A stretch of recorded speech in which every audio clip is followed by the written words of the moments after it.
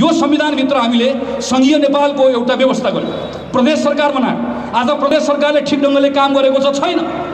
तपाईँको प्रदेशको मुख्यमन्त्री शेरदन राई केपी ओलीको त्यो पनि राम्रो फोटोकपी होइन झुर फोटोकपी बिग्रेको फोटोकपी हुनुभएको छ। तपाईँ शेरदन राईलाई गएर प्रश्न गर्नुहोस् तपाईँ प्रश्न केलाई गरेर राख्नुभएको छ कहिलेकाहीँ? संविधानमा सङ्घीयतै ठिक भएन।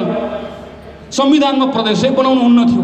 प्रदेश चलाउन शेरदन राईले जान्नु भएन। प्रदेश चलाउन शङ्कर पोखरेलले जान्नु भएन। प्रदेश चलाउन लालबाबु राउतले जान्नु भएन। प्रदेश चलाउने मानिसहरू मुख्यमन्त्री भन्ने योग्यता राखेनन्। प्रदेशको अधिकार पनि बुझेनन् अधिकारको प्रयोग पनि गर्न सकेनन्।